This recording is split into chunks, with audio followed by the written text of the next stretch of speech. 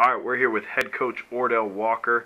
Week three, uh, Coach Walker, what are your thoughts on Westminster? They are a very, very talented football team. Um, their D line is probably as good as anything we've seen um, this year. Very experienced. I mean, pretty much the same guys we played against um, last year.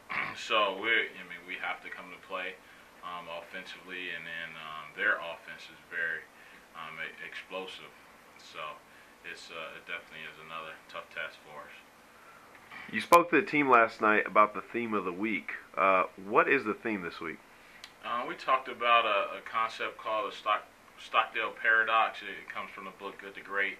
Um, and it's really about us uh, facing the brutal facts about our current situation. So um, we, we played an incredible second half um, last week and, and really finally put some things together. And we obviously want that momentum to continue.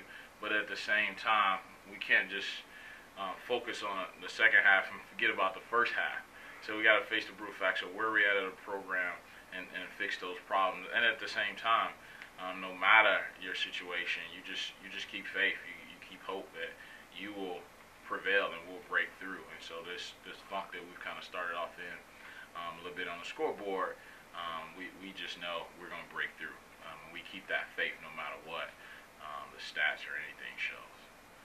Is there anything the team has to do specifically to break through this week?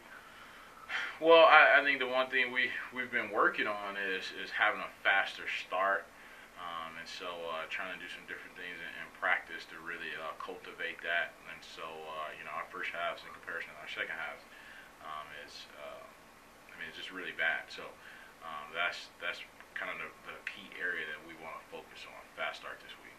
All right, thanks, Coach Walker.